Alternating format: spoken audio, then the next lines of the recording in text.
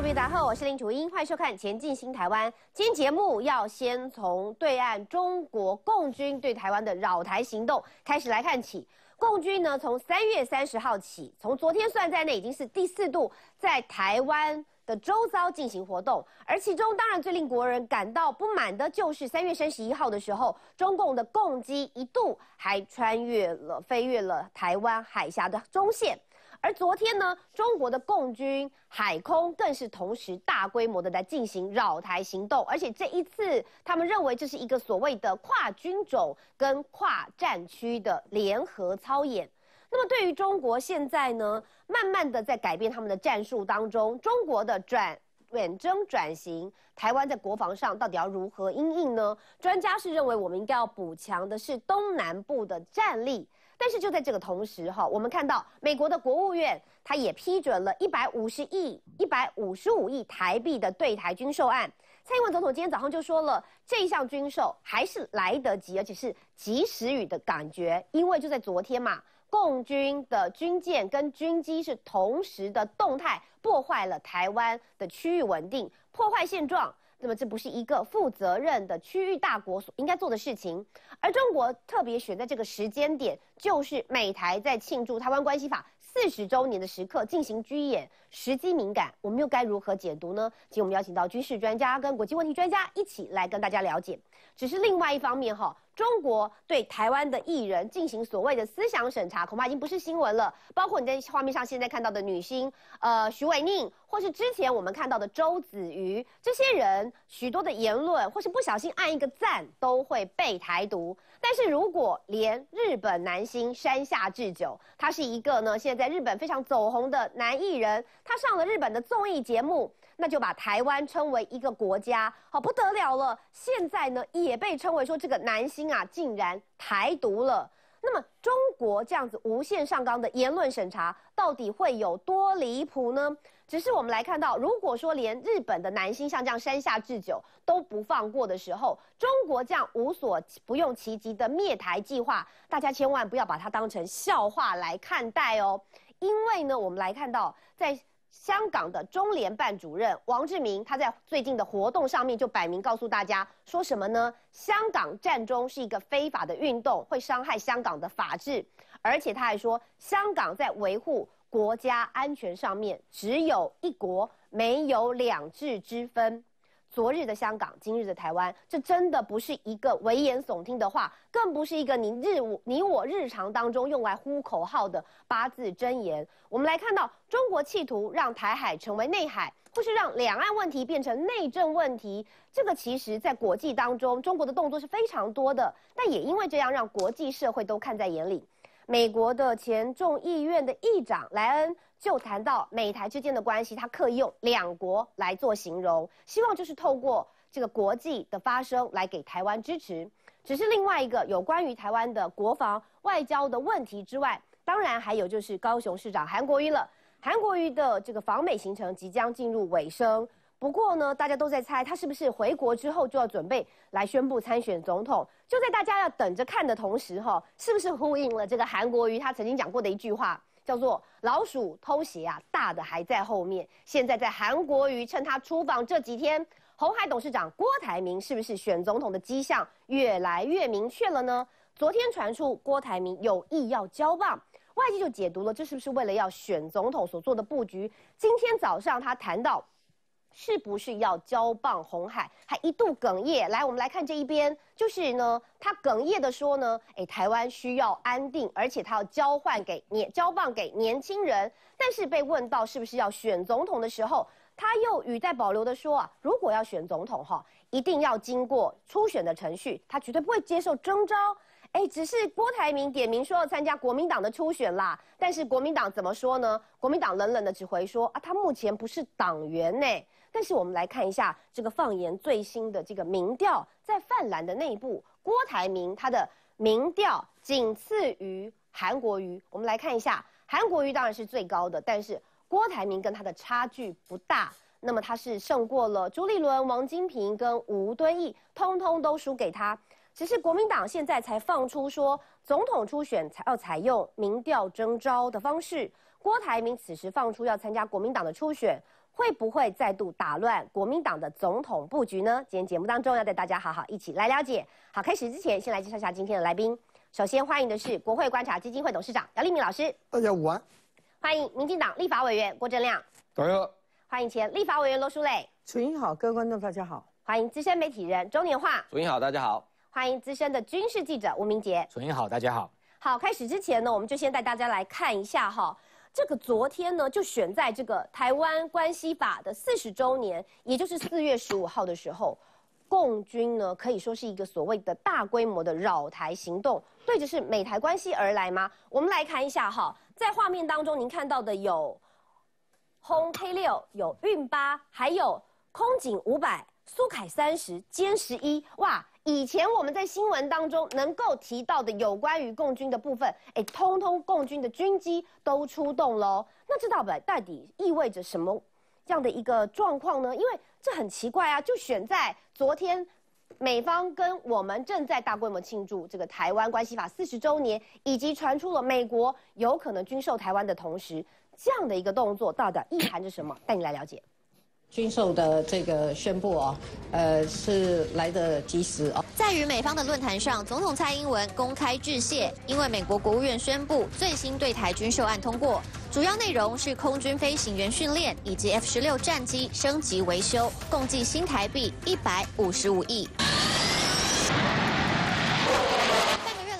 军第二次扰台都是 F 十六升空监控，尤其这次台湾关系法四十周年，美国重量级前众议院议长莱恩率团来台，中共却算好时间，周一中午庆贺团抵台没多久，轰六 K 运八军机、歼十一战机等各型机种好几架由中国南部陆续出海，但一改之前惯用的顺时针飞行方向。这次有几架从巴士海峡航向西太平洋，在向北经过宫古水道飞返驻地。传出中共这次的反常路线是为了预防美军出兵干预，就好像人家办喜事，他在外面给你给给你派人站岗一样。你有开飞机、开战舰，美国也有他跟台湾合作的方法，在这个军事上的一个展示他们的力量。所以我认为说，我们的政府。在当下的时候，也对我们国军说了很多的鼓励的话，空军也及时的有马上升空伴飞，啊，也展示了我们的军事的力量。我国空军战力，连国民党立委都肯定，这回美方军售 F 十六战机升级，加装先进主动相位阵列雷达，增强对抗歼二十能力，而飞行员佩戴的头盔瞄准器更能看哪里飞弹就打哪里。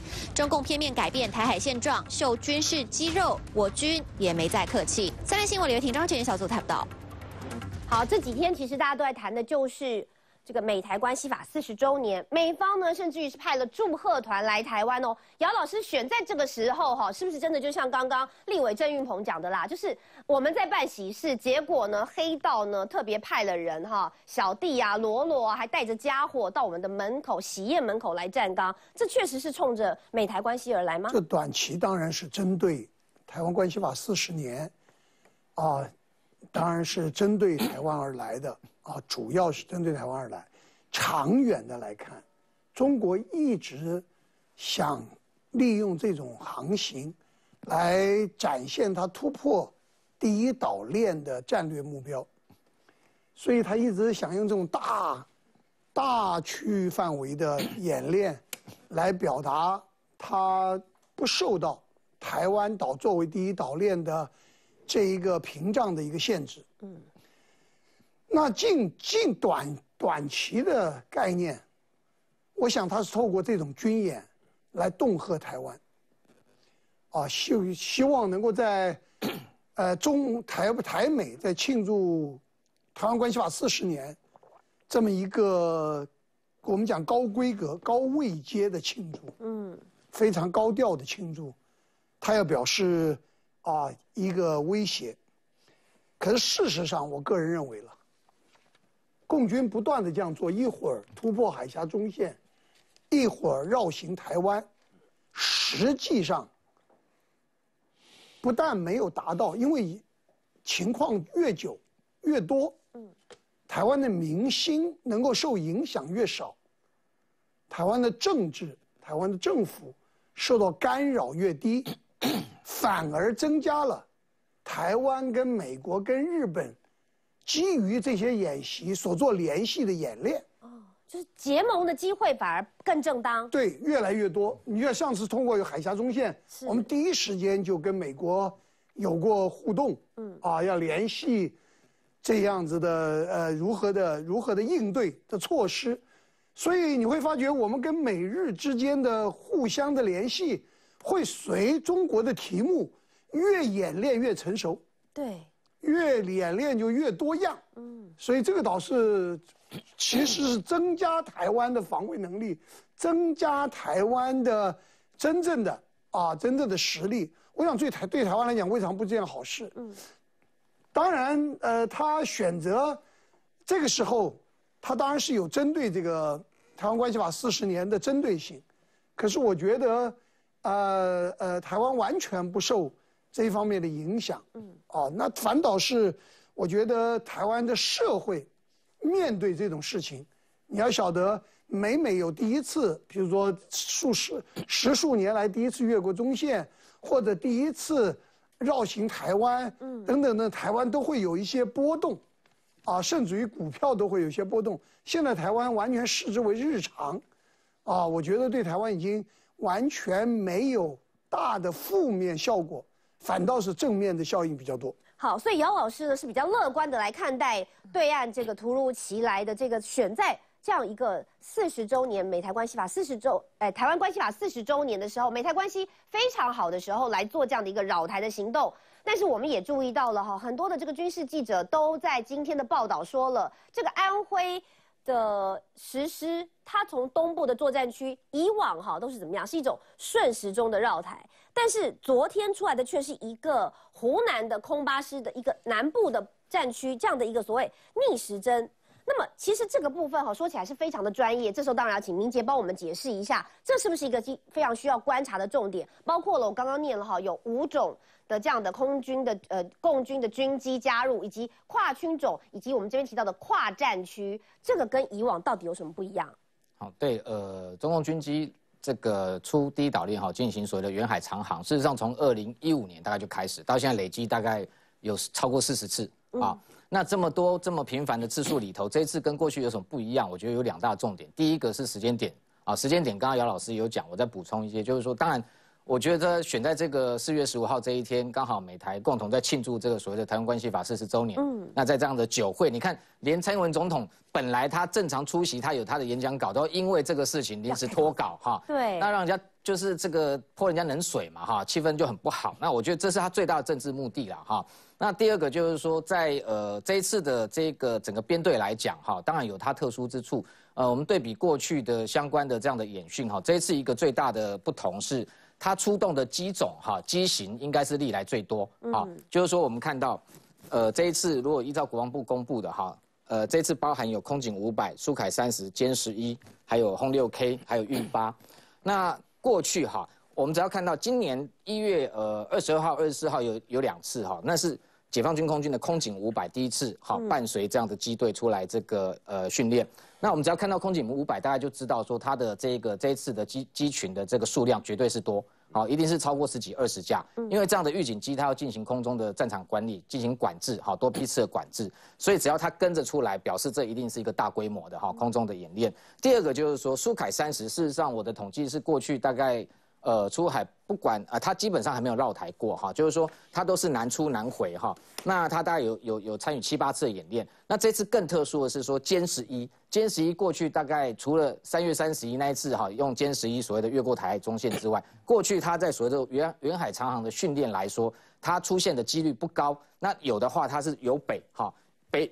这个北出北回就是穿越宫古海峡，是那跟苏凯三十编队同时这两型战机同时南出南回，这是第一次哦。好，那也就是说，呃，这样这两型的战机它可能在针对某样的呃某某种这个军事侵略目对某种目标在做打击哈。另外就是说这次比较特殊，为什么说不是只有？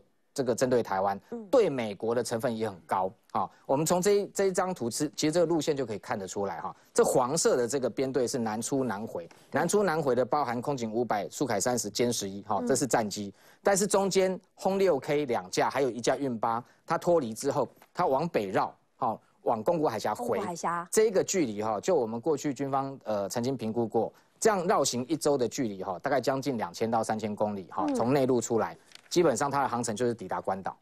哦，所以这两条线你可以看得出来，它的目的是不同。黄色的线基本上就是针对它，因为它这一次哦，中共的海上的舰队有三艘哈，已经先出海到西太平洋这一块，嗯，所以他们飞到这里来跟他做海空的联合演训。好，所谓的跨军种演习就是这样。那这一月也做过一次，这是第二次。第二个就是说，轰六 K 过去事实上由南往北绕也很多次，由北往南也有，只是刚刚讲到空八师或空十是不同的部队执行不同的任务。那这一次是等于，因为习近平要求他们要实战化哈，战在在哪里打哈，并在哪里练，所以他不同部队有往北绕，有往南绕，都各种都他都去做。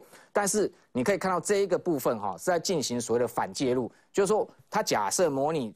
美军的航母战斗群在这个区域要来援台的时候，他用这一股力量把它隔这个阻隔在外。那另外分出一批轰六 K 带的是长剑二十，它是公路的巡弋飞弹哦，它就远远的可以直抵关岛去做对这个第二岛链进行攻击。哦，所以它有这样的一个目的。那这样的一个整个综合下来，我会认为说，那这其实是对着美国来的，这一次对美国的成分相当的高。是，那我是觉得说，呃，他们现在还有在讲说他是成成立一个所谓的像远征型的部队了哈。不过我觉得还没有那么这个厉害了啊，就是说。我们在看待他这样的军事行动，基本上他的目的还是政治施压为主。那军事行动当他们自己要训练，万一有一天用得上的时候，他当然还有这个必要性，但是不是主要的目的哈。嗯。那他这样的远程的打击，事实上他还是有很多他们自己的缺陷。譬如说，我们过去像我们在观察重点，就是说以这样的苏凯三十出海，哈，或者歼十一出海，一个很重要的，他们伴随加油机。如果伴随加油机的话，像苏凯三十，它是用这个 IL 七十八一流升七十八的加油机，加加油之后，它航程大增就可以绕台。但是我们观察过去三四十次，苏凯从来没有绕台过，它的航程是不够的。那为什么？因为这个解放军现在最弱的部分就是加油机，它的一流升七十八只有三架，然后这个它的轰油六，轰油六像现在这次出来的这个歼十一哦，它也不能空中加油，它只能替歼十跟歼八加油，所以它空中加油能力很弱，总共才二十三架。还有三千架战机，只有二十三架加油机。对比美军，美军有五百一十二架，所以美军那个才叫做远征型的空中力量，真的飞不远。虽然号称远征，但是它还是有一些缺陷在里面。只是我们听了明杰的解说之后，就更能了解说，哦，原来这些布布局，当然某种程度就因为就在我们旁边，肯定跟我们有关。但是包括像这样子一个隔离美军的原件的部分，以及呢像这样的距离哈，虽然你看是到宫古，但如果从它基地出来，哎，这样的距离加起来是可以到关岛。所以在在都认为是剑指美国的意义当然是更大，政治性的政治施压更大的。所以郭伟你怎么来看哈？哎呀，给我的随便算在这个时间点，就是要做给你看。我们自己呢，我们怎么解读？我因为台湾关系法四十周年是四月十号了，那他故意选在 A I T 酒会搞这个事，嗯，所以呢太明显了啦，就是给你泼冷水了啊。那我觉得主要是美国从去年到现在，坦白讲对台湾的关系的升级啊。那个速度让北京非常的担忧了啊！事实上，我们看到去年通过，比如说台湾旅行法，是那让这个美国跟台湾的官员可以互访嘛。那我们最近又看到众议院通过台湾保证法，嗯，这个就已经触及军事了哦，包括美军要参加台湾的演习啊，就又要联合演习，那军事官员可以来台湾哦互访啊，然后军售要纳入美国的法律，嗯。这个当然，北京看了当然会心惊胆跳嘛。虽然说现在是众议院通过了，还要到参议院，可是他也看到实质的军售在提升呐啊。比如说 F 十六 V，我们现在要报价了啊。因为如果我们只有 A B 啊，真的只有一百三十七架，真的是不够了啊。而且性能，你如果要未来要面对中国的歼二十，那坦白讲，真的是需要升级啊。那另外，比如说他把我们的海军雷达升级啊，然后爱国者三号飞弹。我们又加买了一批，嗯，这个他都看在眼里了。那当然就是这个就是增加他未来如果真的要武力犯台，难难度越来越高嘛。他要付出的代价也相对要提高。所以所以那当然也包括美国从今年每个月，嗯，他都有军舰通过台湾海峡，是大概都是下旬了啊。那这个他也看在眼里啊，就他就觉得哎，美国不断的在触他的红线啊，所以他是不是要报复一下？我也要来刺你的红线，嗯。这个就有点像是大国在试探双方的红线啊，然后就因为目标是台湾嘛，那当然刚各位先进也讲到说，不止第一岛链，我甚至要把你第二岛链也拉进来啊，哦，而第二岛链就是关岛嘛，是，就说哎，你你不要小看我这样了哈，那当然，刚刚明杰讲的很对了，就说以目前的海空军，坦白讲，中国落后美国是蛮远所以也那不是如果落后蛮远的，那这时候做的时候，我想内行看门道，我们外行只能看热闹。相信更多美台之间的军事专家更会看出，说你越演练，你就越有破绽啊，对不对？你就演练给人家看。那这个就像刚姚老师也讲的，一旦演练的过程当中，我们也会去观察。对台湾来讲，也是形成一种模拟，看他们做的状况之下，美国也一样啊。那他有破绽，超模模拟给别人看，这对他好吗？因为他如果要打台湾，叫近海战争呐、因为台湾是在第一岛链内啊。是，那坦白讲，这个就是你要付出多少代价的问题了。嗯，那第二岛链它当然不是美国的对手了，可是也就牵涉到美国要介入多深。哦，然后要这个坦白讲是在考验彼此的意志力啦，就是你要投入多少啊？嗯那你红线要推到哪里？是。那双方在较劲啊。那美国显然也没有让步的意思了。目前就是这样。好，所以明杰刚刚我们提到了，其实一切东西都是来的这么巧，你到底是真的是偶发，还是大家都是讲好的刚刚好？比如就像昨天哈，这个呃蔡英文总统在面面对这样的一个美台之间重要大事的酒会的时候，这个讲稿也必须要来脱稿演出，但是也就这么刚好哈，美国的国务院批准了这一个五亿美元的对台军售，其中就是培训台湾 F 十六飞行员跟 F 十六战斗机的后勤支援等等。这样的后备的军呃这样的军力加入哈，对于台湾来讲最大注意在哪里？对，事实上我们不会只有看军事层面哈，就是说像解放军这个共军也好，呃，基建绕台哈这样的一个动作，事实上军事行动对他来讲只是政治施压的一个工具之一。嗯，好，那我们不会从纯军事面去解析它。同样的，美国也相信也也非常了解这道理。前一阵子，美国国务卿庞皮欧他有特别谈到，就是说。美国在协助台湾，就是面对中国施压哈，外交打压上面，美国也有很多工具可以运用啊。同样的，你看这是不是针对性？的确是针对性，连美国都感受到啦。所以你看，呃，十五号昨天他共机来特别出海来绕，美国会感受到你不是只有针对台湾，你还针对我。哦，大哥你都要碰，是不是？是那那没关系，我就当场就打你脸，打什么脸？过几个小时之后，他国务院罕见，我必须要讲罕见，哦罕见就马上宣布这个五亿的对台军售案。这个军军售案事实上它有特很特殊的地方了哈。要讲内容，内容不特殊，我在这里呃替大家说明一下，就是说它事实呃事实上是一个训练案啦，就是说我们 F 十六飞官到美国的这个洛克基地去受训。事实上，这个过去呃长期已经做二三十年了哈、嗯一直都有交流一直都有。那这样的案子它是五年一约，哈，那总共的金额从过去到现在大概将近就是台币一百五十亿，啊是，那它本来是以机密的方式编列啦。过去我们在写这样的新闻的时候，常会被这个提醒说，这个台美之间军事交流只能做不能说。哦真的最好不要写哈。是那但这个背景我们都了解，就是说过去我们跟美国采购一百五十架的 F 十六战机，在美国的这个陆克基地保留了十六架。那我们的飞官，像以去年的预算，国防部公开资料来说，二零一八年总共五十三名的 F 十六飞官到那边受训。嗯，好，那这样的一个训练哈。呃，是比照北约盟邦哈，因为德国、英国啊，其他像荷兰，他们很多的飞官也到那里受训。嗯，那那样的一个动作基本上是很敏感的。那过去美国因为畏惧于北京啊，所以他这样的事情只能做不能说，要求台湾不能公开。这次他把它公开了。而且是国务院主动批准，主动然后发了新闻稿给你看。对，那意这个这个案子哦，事实上它有它的背景，就是说我们过去五年换约哦，它二零一七年到约了，那本来要再签五年，但是一个很巧，就是说因为刚好陆克基地它未来从今年二零一九年开始哦，因为美军 F 三十五的服役，所以 F 三十五的训练要改在陆克基地进行，所以我们就 F 十六未来 F 十六连美军 F 十六也是一样，要搬到旁边，一样是这个亚利桑那州旁边一个都市叫土桑。哦，以后就叫改改改到土商基地去做训练。那这样的一个训练，事实上就是说还是会运用到这个内华达州整个空域。你知道那个训练空域有多大吗？六个台湾大。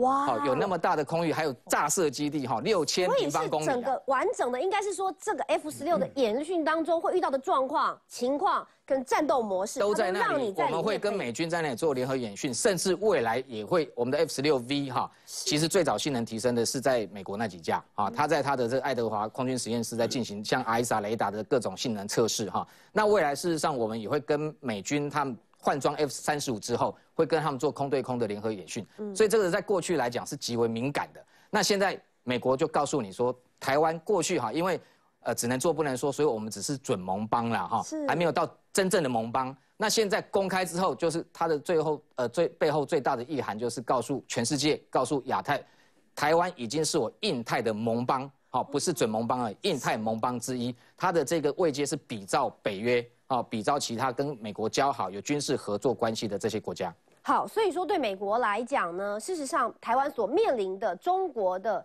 这样的武力威胁，或是国际社会上现状的打压，真的就像我们之前所讨论的一样，国际社会都看在眼里。除了欧盟、除了美国站出来之外，更重要的是给台湾更多可以有保护自己的机会。就像这样的一个训练员的交换、飞行员的交换，过去。只能做不能说，但是现在透过美国来公开，也是要告诉中国说，哎，你不要真的哈，一直想踩红线，一直想踩破坏国际现状的一个红线。而另外，不知道您最近的晚上这几天有没有抬头来看这个一零一外墙呢？在一零一的外墙，连续三天有有美台友谊的特别讯息，还有通关密码是什么呢？休息一下，广告回来让您了解。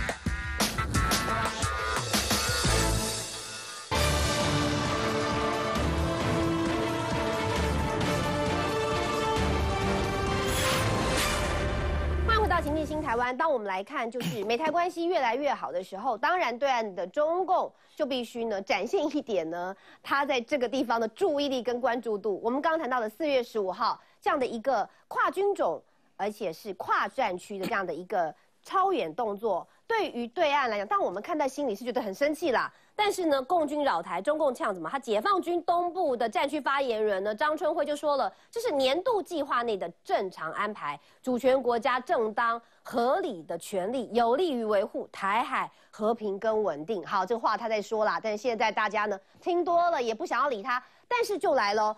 年晃，我们来看，在这样的一个酒会当中，今天这个照片包括了 A I T 的主席莫健、美众议的议员哈强生，还有美国前众议院的议长莱恩。莱恩还特别讲到美台关系的时候，用两国来形容。还有就是 A I T 的处长也参加了这样的呃这个酒会的活动。不过，就刚刚我进广告提到的这个 A I T 哈。这个美国把这个台湾之间、美台之间的关系，居然在一零一的外墙。哎，大家如果这几天你没有抬头去看的话，来，到底有什么关键密码？其实大家看一下哈，呃，连续三天，所以你如果昨天没看到，今天看还来得及啊。你如果晚上你去看一零一的话，你会看到它的外墙那个灯光不是很漂亮吗？它会出现最上方。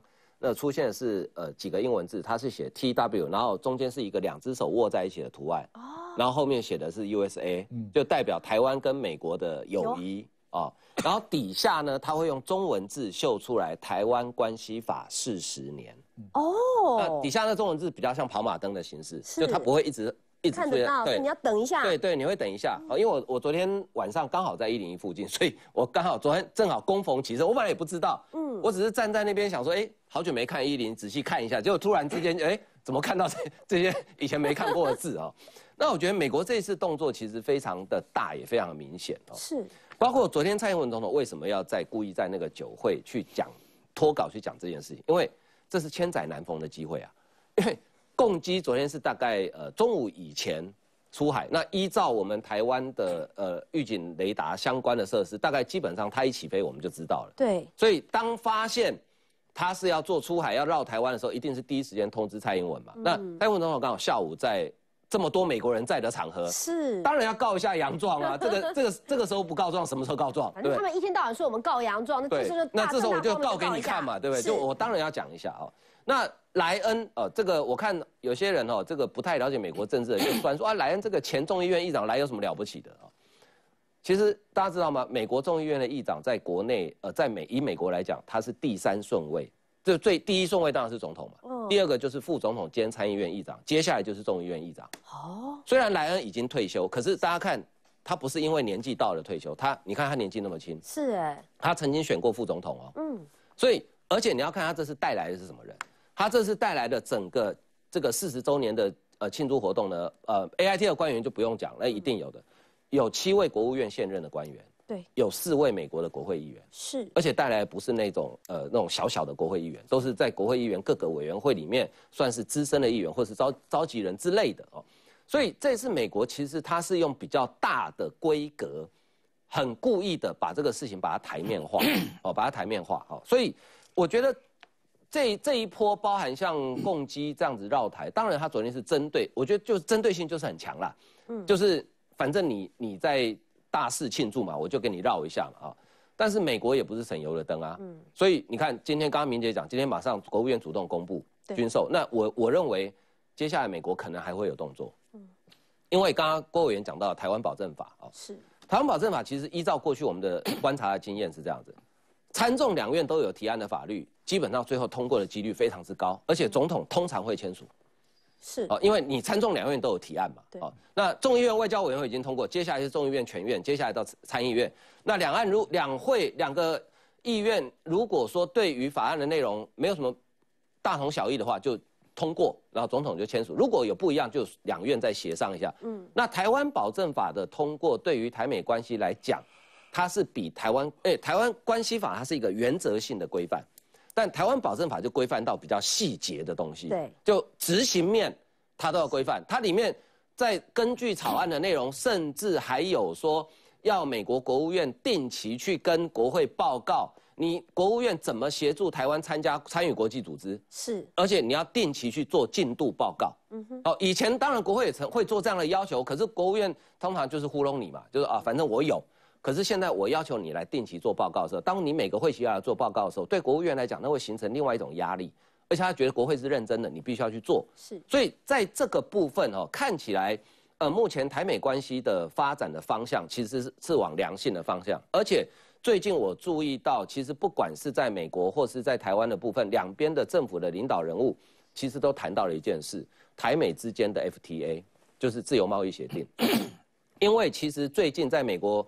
呃，或者台湾这边也有一些专家开始提到一个概念，就是台湾因为我们的经济高度依赖中国，我们到目前为止，我们的出口大概有一半是靠中国。嗯，那台湾怎么样摆脱中国对台湾的控制？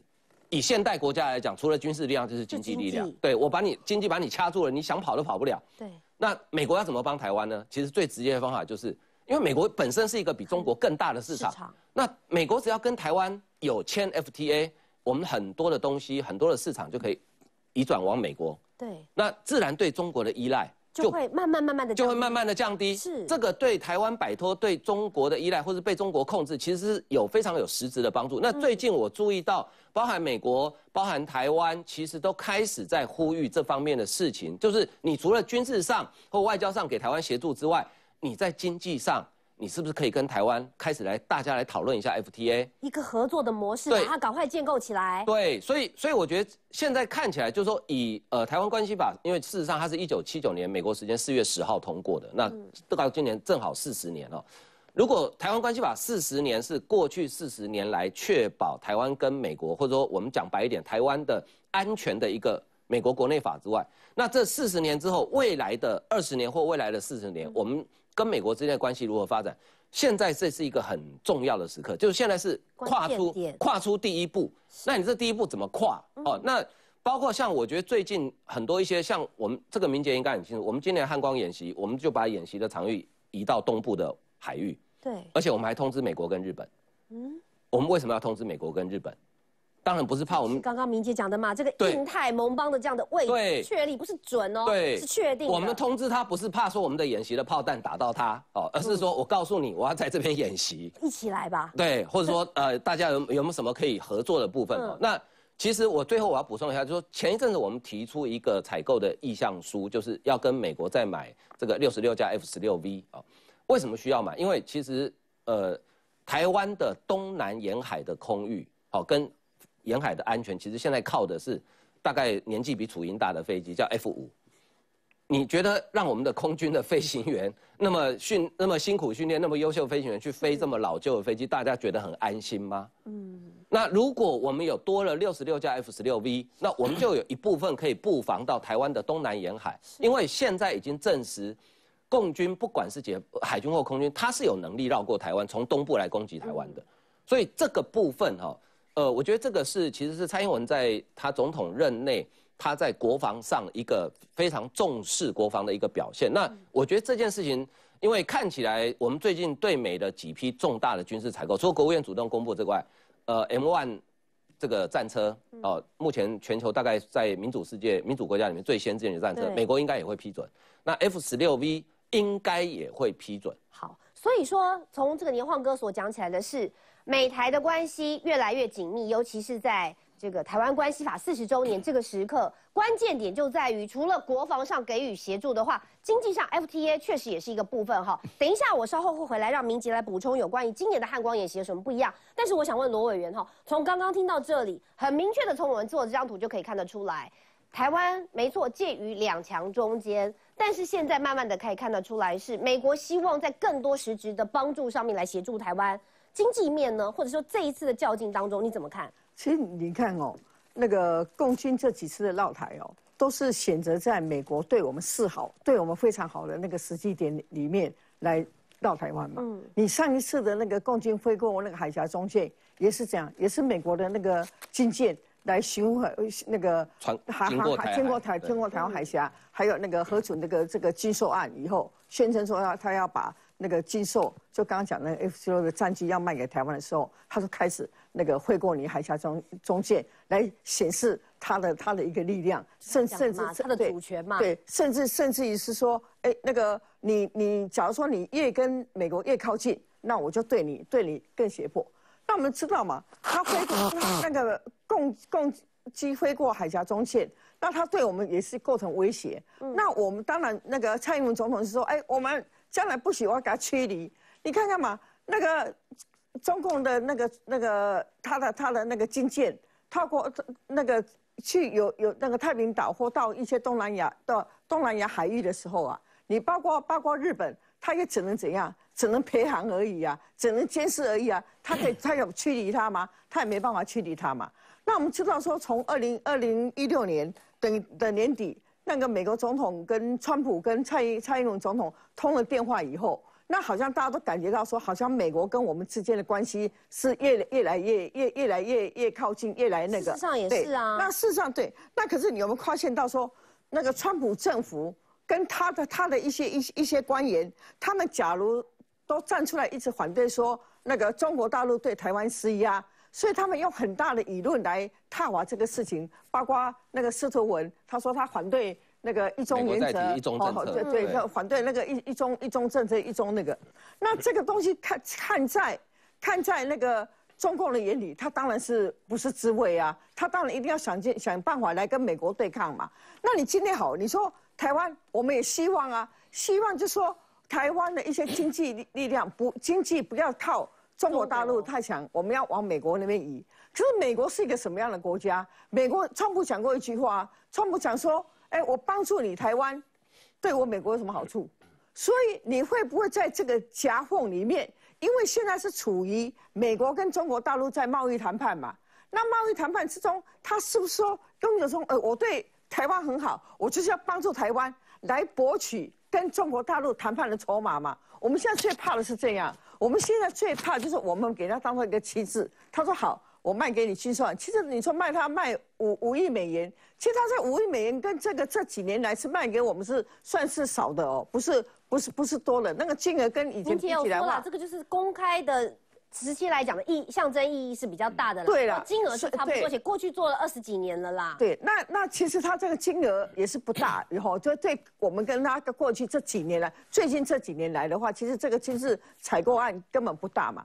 那他美我们要去了解说，美国他为什么要选择选择在这个时间点，好，他做这样的动作？嗯，因为尤其是在中美贸易谈判的这个时间点，他做这样的动作，那中共越强硬，美国再来的话。那台湾要怎么办呢？台湾难道说两边拿好处啊？对，两边你你怎么你以为我们大家都一讲说不要从美国因为身上得到任何好处？因为川普他是一个商人嘛，他是个生意人那个嘛，所以我刚才到他讲说我帮助你台湾我什么好处？当然我们也没办法从中国这边拿好处当然当然他是说当然当然美国他也不愿意失去说台湾的这一个那个战略位置，他用这个来制衡。制衡中国大陆嘛？是。可是，在做我们刚刚讲说，我们要跟美国签 FTA，讲美国真的对我们好，要支持我们加入联合国啊。美国公开讲说他支持加入联合国嘛，他刚才公开讲说跳太多步了，他干脆到位比较有困难他干脆讲说他跟我们建交嘛。你说来了，不是求先了，一步一步来，一步一步来。我跟你讲，他只是罗委员提出了最高的最终指导对了，这我也是我的愿望了。但是呢，真的要一步一步慢慢来。我们先休息一下，广告回来更多讨论。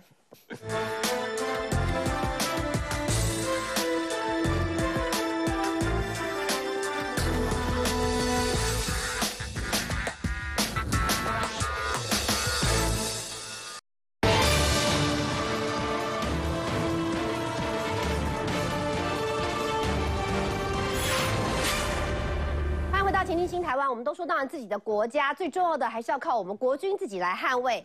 那么我们来看一下平战时期台美相互之应。那么汉光演习电脑兵推呢，就靠两套系统，哪两套？而且今年的汉光演习跟过去有什么这样不一样的特殊之处呢？来，明杰帮我们讲一下。哎，我先补充一下，刚刚这个对台军售案哈，刚刚委员有质疑说这个金额只有五亿，比较少哈。嗯，我觉得这当然是一个本来就是一个很重大的转变哈，因为像前两年美国的国防授权法，事实上有特别提到说，未来美国对台军售会从过去包裹的方式改成个案审查嘛。嗯啊，那我们知道就是说，川普上台之后对台的第一项第一批哈军售案还是包裹案，那时候有八项。包含这个 H M 八十八反辐射飞弹等等，那个时候价格总价格是四百三十三亿台币，所以看起来好像比较大，但事实上那个案子也是在这个前任的末期就已经批准了，川普上来只是公布而已哈。那川普这个执政之后，真正的对台军售项目，我们现在看到好像像去年呃还有一批是所谓的空军的零附件案，那金额大概一百亿台币都不大，但是你会看到这个频率跟次数会增加啊，而且随时。他现在现在美国对台湾的这个呃，等于说你的军售的需求，就是我只要提需求，随时检讨，是机动性很高。对，所以就是说他会视情况就会公布，所以过去不会有这样一项一项的细项。那这次更特别是说，过去是军售案，就是说是所谓硬体的部分叫军售案。这一次他把训练，我刚刚特别强调，F 十六飞官赴美的训练，这也把它当成一个军售的项目来公布。好，所以这个当然是很明确的，就是在回应解放军攻击绕台的这个部分。嗯，第二个就是说，今年的汉光演习，当然就是说过去有一些固定的模式啊，哈，会先进行所谓的电脑的兵棋推演哈，然后后面会有实兵操演。那电脑的兵棋推演，今年预计是四月二十二到二十六五天哈。对。那当然媒体上面提到说，我们曾呃跟美国采购的一套叫 JTLS 哈，JTLS 这一套系统哈。对。呃，就是说呃跟美方哈。呃，可能暂时的时候是可以连线的哈，这个的确是哈，因为这套系统，呃，基本上它过去哈，呃，我们就不断的在追这个讯息哈，它基本上的确是可以跟美军的太平洋司令部可以做 link 哈。那最最重要的上面一个跟台美之间哈，有未来有可能联合演训跟联合作战一个很重要的叫做共同的共同的这个战场的图像啊。简单来讲就是说，譬如说呃。所以你用赖，我也是用赖，好，我不是微博，我的微博我没办法跟你通。好，第一个，你你美军用赖，我也用赖，等于是在沟通语言上，我们已经一样了，我们在同一套系统里面。对，然后你传给我看的图案一颗星，我也会看到一颗星的，哈，就一样的，不会不会是收不到或看不到。两个字。对，那这个这个共同的战场图像，如果就放大放在这一个这套系统来讲的话，譬如说我们的这个兵推的这个呃电脑兵推的这个系统里面看到，譬如说是一个机步旅。好的一个符号，美军看到就是一个机步旅的符号。那未来如果结合，譬如说整个台海当面的情资，那在作战的时候，譬如说老共的像这次共机的机群从哪里起飞出来，航线怎么走，美军在太平洋司令部同步看到一样的东西。哦，所以它可以跟你一样，就进行相对的这个应应。所以这套系统，呃，我们过去汉光演习大概从二零零三年开始啊，这套买进来之后哈，它这个不断的更新了哈，那。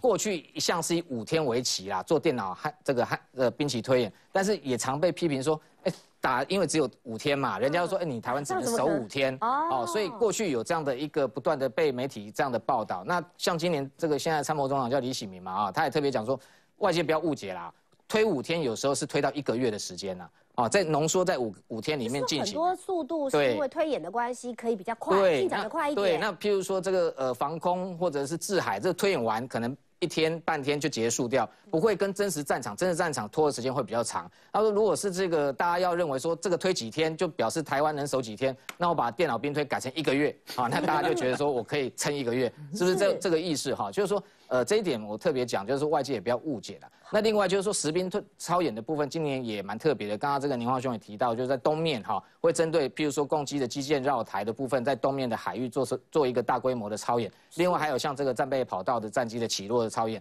这些未来这个呃后续哈，国防部都会有相关规划。好，所以在明杰解说之下，我们会发现，虽然对岸用它强大慢慢建。建强大的军事武力来对付台湾哈，但是我们自己其实也都有因应之道，而对于讲到美国呢，现在人正在美国访问的韩国瑜，很多人都认为说这一趟访美回来之后，他大概就准备要参选总统了。只是很多时候哈，你真的没有守在国内哈，后面这个程咬金哈，老鼠偷拖鞋，大的就在后面跑出来了。这个大的会不会是郭台铭的？姚老师，郭台铭今天早上接受媒体访问的时候，特别讲到了有关于是不是要选总统这件事情呢？他说呢，他要参加国民党的初选。如果他如果选的话，他要选国民党，他不会接受征召。而且呢，这个他又不是国民党的党员。那这句话这个时候讲出来，言下之意是要来跟韩国瑜 PK 吗？应该不会。如果郭台铭要出来，韩国瑜就应该不会出来。哦，他没有跟韩国瑜 PK 的余地了。我觉得韩国瑜不会去对阵郭台铭。因为这个是一个并不智慧的决定。可是韩粉势力强大，而且韩粉很恐怖啊。对啊，韩韩粉出征，片草不生哦。可是韩粉支持郭台铭的比例也不少。对哦，这个两八成是郭，重重叠性蛮高的。是。所以我不觉得他们两个人会 PK。虽然两个现在是有点在参选上是有重复的可能性。嗯。因为韩国瑜。要参选的主观意愿已经表露的，其实蛮明显的了。他从美国之行尤其表露的非常明显，他自己希望能够参选，只是因为他客观的正当性不足，嗯，所以他希望能够万般拥戴。嗯，可是有郭台铭以后，就变成一个拦路虎，嗯，他就没有任何再征召或者来黄袍加身韩国瑜的余地。哦，所以从这个角度上来看，我觉得郭台铭。如果宣布参选，韩国瑜应该就会，应该是礼让的几率比较大，而郭台铭作为一个候选人，当然会震惊国内外。是。他是一个超级富豪的候选人。对。他又是一个非政治、非传统、非非政治人物的候选人。嗯。他又是非国民党传统型的候候选人。他作为一个候选人。对台湾政治来讲，应该是翻天覆地的改变。